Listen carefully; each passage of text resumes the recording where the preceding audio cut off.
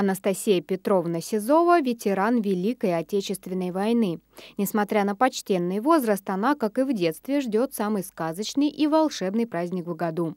А какой же Новый год без елки? Чтобы создать нашей героине действительно предпраздничное настроение, ей подарили зеленую хвойную красавицу. Члены Щелковского отделения молодой гвардии Единой России в преддверии Нового года решили таким образом порадовать самых заслуженных и уважаемых жителей округа.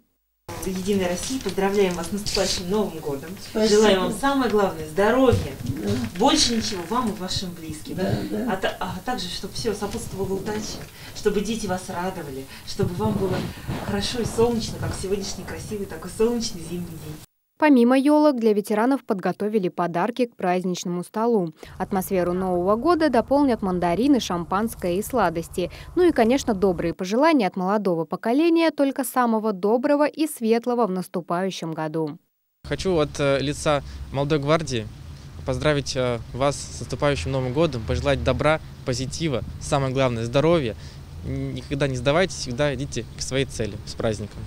Также красивые, а главное живые, не искусственные елки к Новому году молодогвардейцы вручили многодетным семьям городского округа Щелково. Мария Буржинская, Александр Аржевский, Щелковское телевидение.